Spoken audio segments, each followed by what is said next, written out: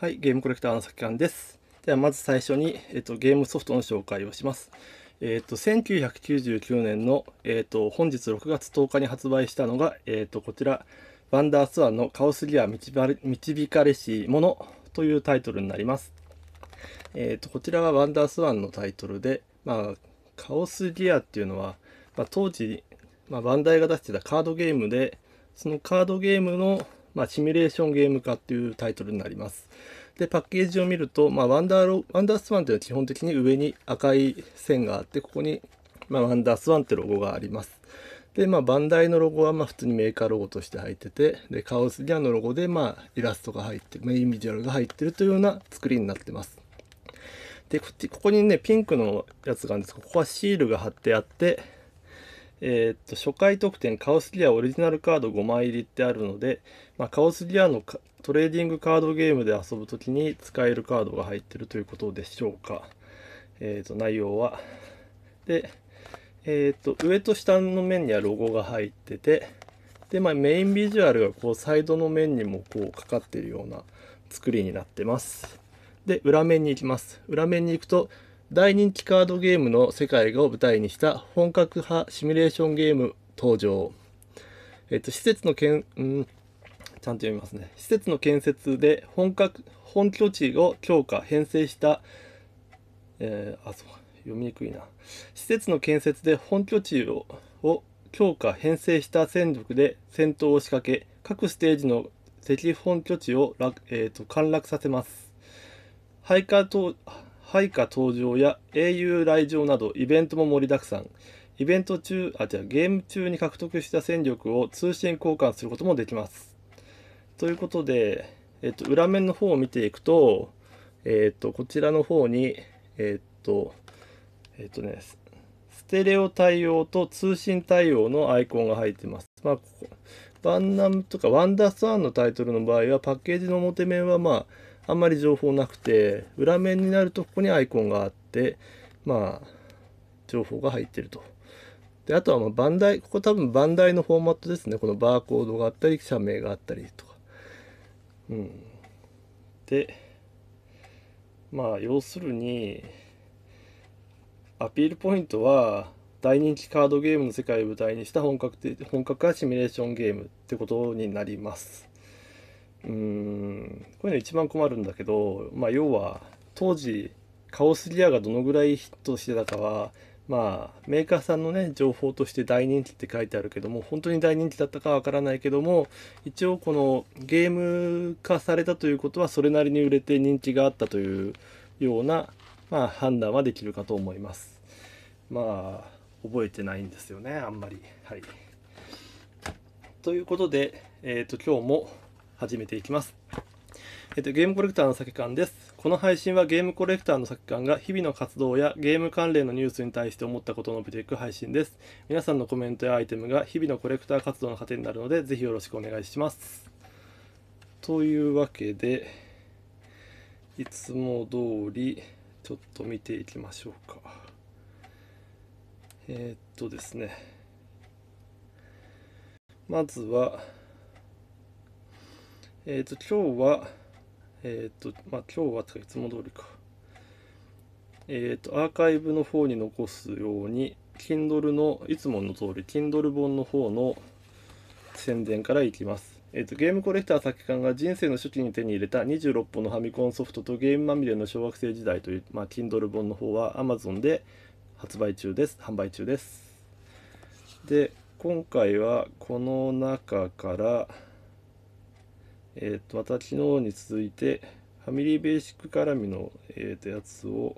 読んでいこうと思いますが、これか。えっ、と、うん。えっ、と、ゲームの保存は面倒くさいという話ですね。ファミリーベーシックでせっかくプログラミングをしても電源を切ればプログラムは消えてしまいます。一応ファミリーベーシックのカセカートリッジに単三電池2本を入れておけばデータを保存しておくことができる音ができるのですがいつかは電池が切れてしまうしカートリッジをファミリーコンピューターに挿して電源を入れている状態で電池を入れ替えるのは、えー、と相当困難な作業になります。慎重に慎重を重ねて電池を取ろうとしても途中で少しでもカートリッジに振動を与えてしまえば画面がバグってしまってゲームオーバー。まあゲームあれですよね。ファミコンのゲームってよくあの猫リセットみたいなね表現があったりするけどあれ猫がリセットボタンを押す以外にも単純に猫がぶつかっただけでもこう、ね、画面がぐちゃっとなって遊べなくなるみたいな。で自分で電源入れ直さないといけないような状況になることもあったりするのに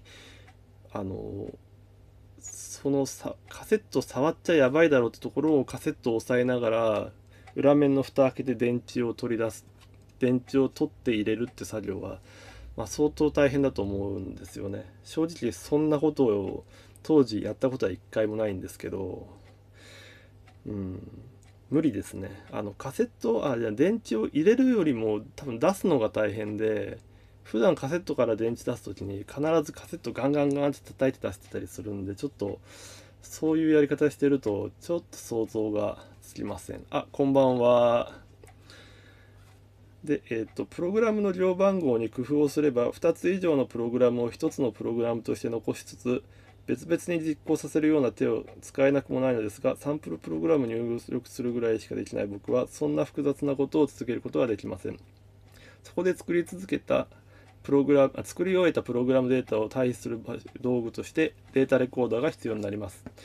という感じなんですけどもえっ、ー、と今日はちょっと当時使ってた本の方をあの出していこうかと思います。ちょっと待ってください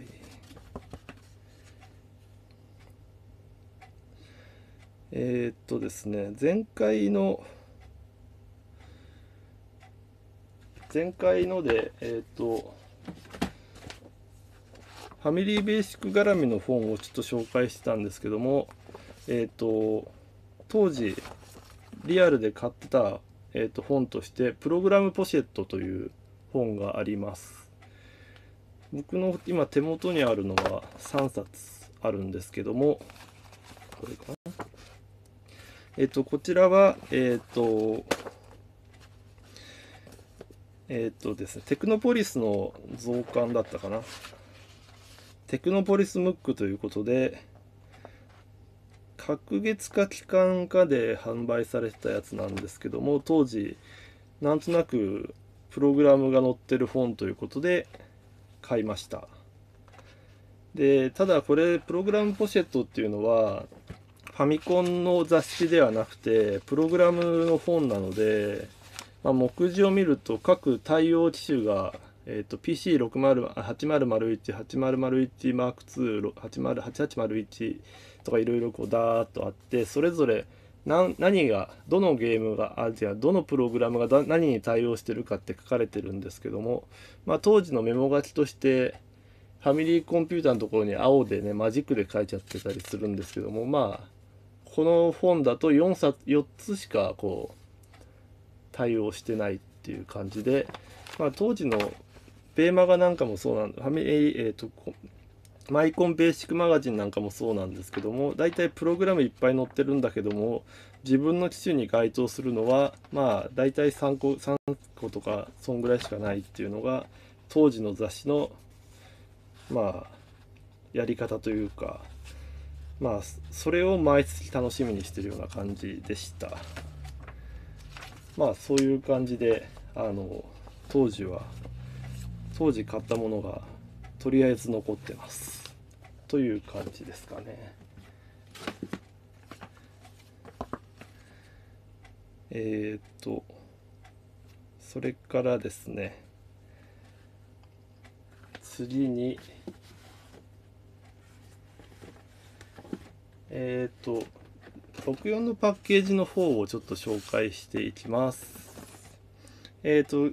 前回まででだいたい、えー、と1996年の11月ぐらいまでの、えーと、ソフトを紹介していたのですが今回はやっとまた任天堂のタイトルになります。任天堂の、えーと、マリオカート64なんですけども、えーと、こういうでっかいパッケージになってます。で何が入ってるかというとゲームソフト以外に、えー、とコントローラーが入ってます。で、えーとまあ、マリオカートにコントローラーがセットってことで、まあ、要するにこう任天堂のタイトルって基本的にはこれを売りたいって思ったタイトルに周辺機器を入れて売るっていう商売が結構あってあの当時のまあえっ、ー、とですねファミコンなんかだとコントローラー直付けじゃないですか本体に。で、えーと、AV 仕様のファミコンもコントローラーが2個入ってましたでスーパーファミコンもコントローラーが2個入ってたんですけどあのー、64に関してはあのコントローラーがねちょっと足りないと。ということでこうマルチプレイ4人プレイまで遊ばせるっていうのが64のまああの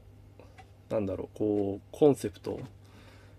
でスーパーファミコンまでだと2人プレイでマルチタップはあのサードパーティーに作ってよみたいな状態だったのが任天堂は最初から64は4人プレイできるようにしてるので一応このゲームを買えばもう1個コントローラーがもらえるよみたいな感じの位置づけのタイトルになってました。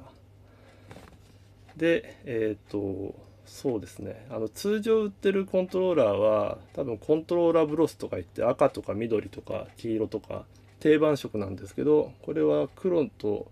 グレーのツートンカラーになってますね。ツインカラーのコントローラーって書いてありますけど。で裏面を見るとワイワイガヤガヤみんなで白熱一人で遊んで遊んでちゃもったいないぜ。楽しいやつらのぶっ飛びアクション。ご存知マリオカートが強力にパワーアップして任天堂64に参戦だ。なんとコントローラーも一緒ですぐに対戦可能。盛りだくさんのゲームモード。大満足の4人プレイ。バトルも健在楽しすぎってことで。であとコントローラーも4つ投げばさらにエキサイトってことで。あの要はもうとにかくみんなで遊ぼうっていうコンセプトですね。この辺はあの本当任天堂スイッチのマリオカート8デラックスなんかも同じようなコンセプトで大体同じような出し方をしてたと思うんですけども。やっぱり任天堂のタイトルというとあの発売時期にはあのとりあえず1人で遊べるものをドーンと出してあとはサードパーティーがどのだけソフト出してくるかっていうのを期待しつつクリスマス商戦とかちょっと盛り上がるシーンにあのマルチプレイをボーンと出してくるみたいな。それを64はそういうパターンでやってましたね。なのででこれはパッケージを開けると当然ながら中にこのマリオカートのパッケージが入ってて。ただ任天堂のタイトルって基本的にはこういう外箱のに入ってるパッケージってここにバーコードの部分に内箱って入ってるんですけどでこれ僕発売日に買ってるはずなんであの新品のまんまなんですけどなぜかここバーコードが入ってます。はい。うん。で多分裏面の表記は変わんないのかな。バーコードがちょっと別々なのでこれに関しては多分これ単品でバーコード通すと値段が変わったんじゃないのかなとか気になってしまったりします。という感じでですね。で、そうなんですよね。マリオカートも何年前？96年でしょ。で多分スーパーファミコンが94年ぐらいかな出たの。もっと前かな。から出てるのに8っていうのもすごいですよね。今は。で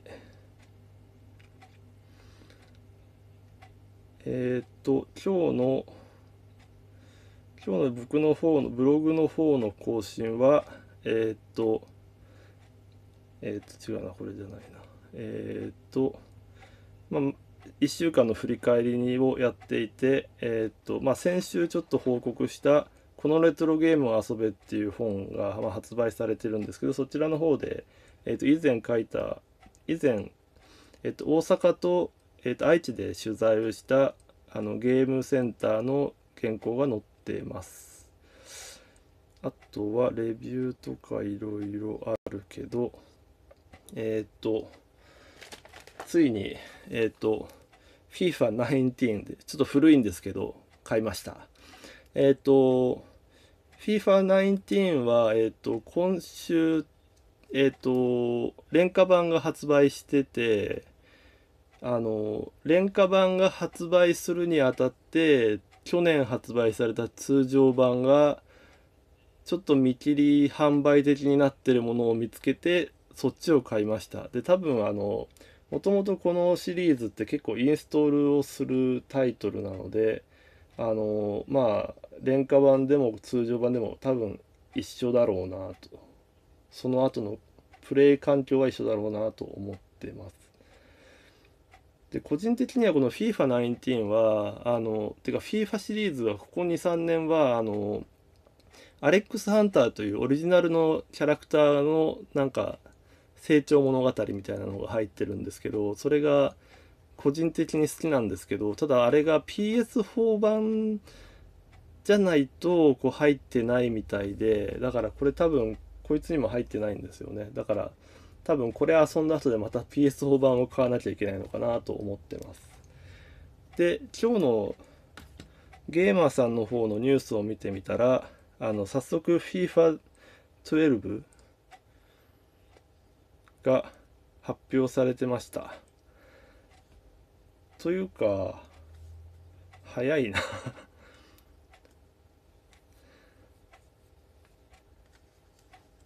うん。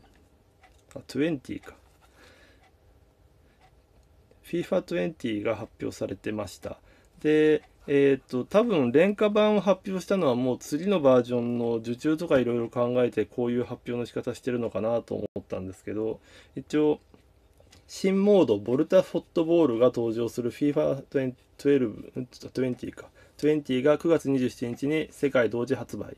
EA アクセスとオリジンアクセスでは9月19日より早くいち早くプレイ可能。ということでえっ、ー、とエレクトロニックアーツは2019年9月27日に全世界で同時発売予定の PS4、Xbox One、PC 用ソフト FIFA20 において、えーと、新モードのボルタフットボールが導入されることを発表した。全く新しいゲーム体験を提供するこのモードは、ストリートやサッカーケージ、フットサルコートなどで行われるスモールサイドのゲームがベースとなっている。なっているプレイヤーは自分のキャラクターを作って個性を表現しリアルなストリートサッカー体験に没頭することができる。ってことでなんとなくアレックス・ハンターの話は多分今回発売されてるやつであのー、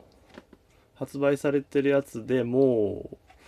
終わってるはずなんで多分それがそこのモードがポーンと抜けたところにこのモードが入ってきてるんじゃないかなと思います。もともとあの FIFA シリーズって結構モードが多くてあの多分まともに遊ぼうとするといくらでも遊べてしまうような、まあ、チーム数も多いし。で最近あの FIFA のゲームとあの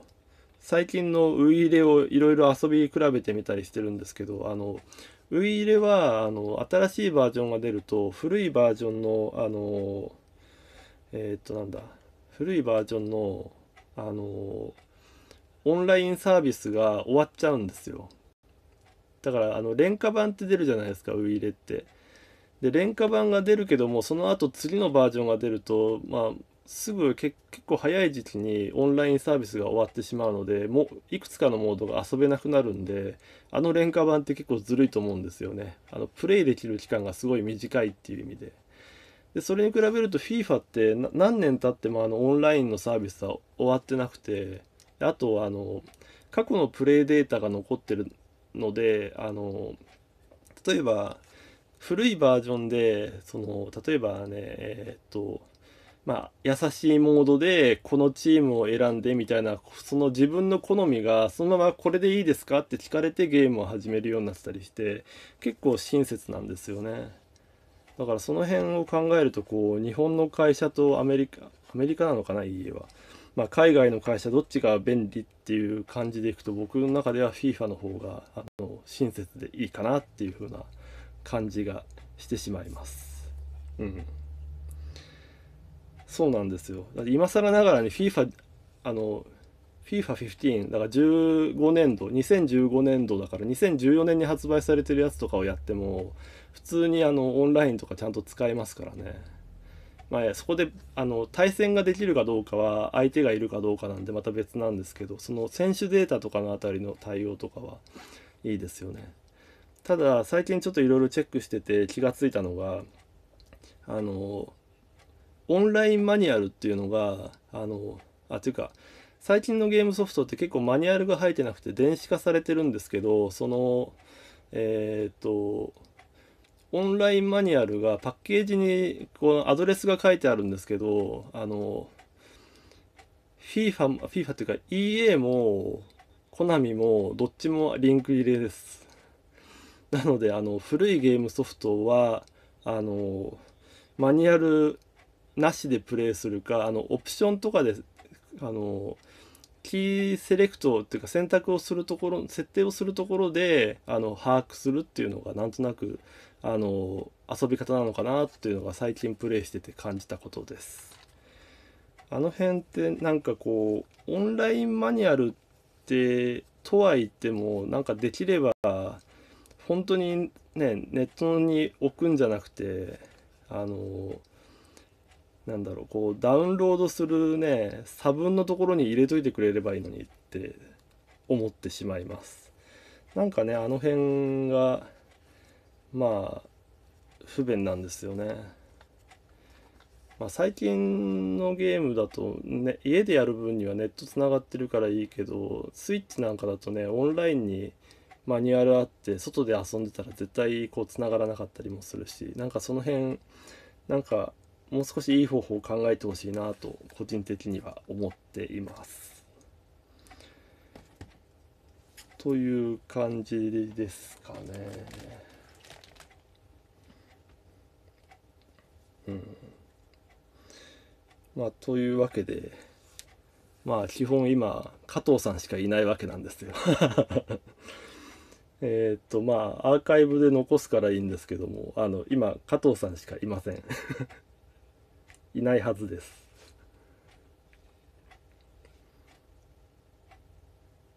うん、